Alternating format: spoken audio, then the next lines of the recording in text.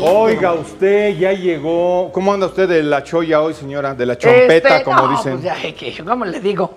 Lo normal que viene siendo la locura, ¿no? Bueno, fíjese que hoy nos trae un tema muy fuerte. Muy este, rudo. Eh, a- Arturo, en Dígame qué locura, porque nos va a hablar eh, de lo que sucedió con la niña esta que encontraron amarrada. No, y, los papás que tienen en Deje la usted de todas las repercusiones que puede haber, eh, tanto para la niña, para los ¡Qué papás, para la sociedad, ¡Qué etcétera. rabia! Arturo, ¿cómo estás? Muy buenos días. Hola, buenos días, Charro. Buenos días, Fer. A sus órdenes. Pues adelante, platícanos todo esto. que Prometemos no interrumpirte porque es un tema, hijo, man. Nos duele. Sí, es, es de las cosas eh, oscuras de la mente humana, pero con, con la pena es más frecuente de lo que imaginamos. En la noticia, así pues, está en el periódico, es este, encontraron una niñita en una colonia de la Ciudad de México que tenía, estaba amarrada y tenía 11 años y supuestamente porque tenía esquizofrenia sus papás que no la podían cuidar, pues la tenían amarrada y todo el día. Ese es el dato. ¿Qué hay detrás? Lo primero, que si tiene esquizofrenia o no, técnicamente no es fácil antes, o sea, en la infancia de identificar. ¿Por qué? Porque esquizofrenia infantil es una condición muy rara. Empieza a diagnosticarse de los 14, 15, 18 para arriba. Pero bueno, vamos entonces a imaginar que tenía algún problema emocional cuya consecuencia es que no controlaba impulsos. Era, a lo mejor era peligroso sacarla a la calle porque corría, se podría atravesar ante un camión. Vamos a imaginar.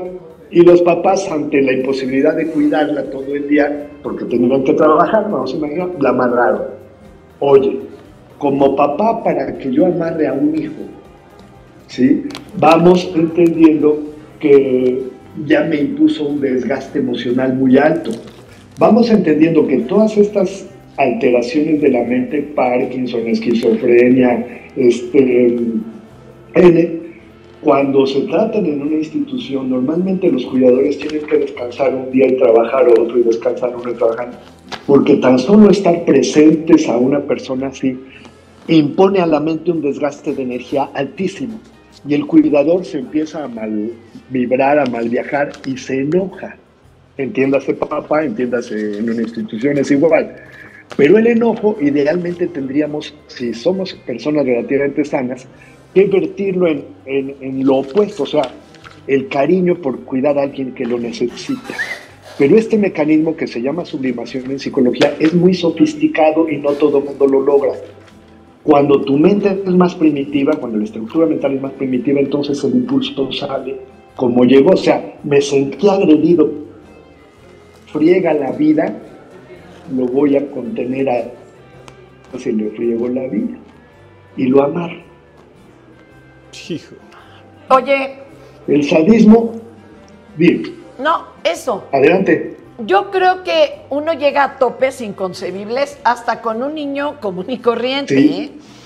Pedro Con y yo le hijo. calculábamos cuatro horas antes de que nos empezara a enloquecer nuestra hija y tenía que llegar el relevo, ¿no? O sea, cuatro Pedrito, sí. cuatro tu servidora, porque de veras uno no conoce qué tan oscuramente puede reaccionar. De veras. Exacto. Ahora Sí. imagínate así, pero también que no había alguien que les dijera 13 horas amarrado a un ser humano. No, no, pues no, no puede ser. Exacto. Entonces, volvemos. Como ves, tan solo por la sola presencia ya te impone un desgaste. Y si no eres consciente de este desgaste, el odio que te genera, la agresividad que te produce, te la devuelves como va, Ey. aunque sea tu hijo. Y esto, perdón, es más frecuente de lo que imaginamos. Te pongo un ejemplo así muy simple. Eh, mamá que tiene un niño de pecho. Y el niño, pues como todo el niño de repente se despierta y grita y mamá se saca de onda porque está viendo la novela. Voy a imaginar. Mamá está enojada porque quiere ver la novela y este chamaco y el biberón y no sé qué, y lo pone al pecho, sin darse cuenta lo aprieta al pecho y el bebé se empieza a asfixiar Ah, hasta que el bebé hace así. Y el bebé como que, ah, mamá ya le metió una angustia. Ese minuto que lo estuvo asfixiando, en la mente infantil se genera como un odio en este bebecito. Pero además ve a la mamá ya no solamente como la proveedora, sino la posible asesina. Ay, qué Estamos miedo. de un bebé de brazos. Qué Esto se miedo. llama, o sea, es el psiquismo infantil que, que acumula sentimientos que los adultos ni siquiera imaginamos. Gracias a que ha habido autores eh, así privilegiados, Anderson, Pirrot, etcétera, los cuentos infantiles contienen muchas de estas figuras, Sí. Pero traducen los sentimientos que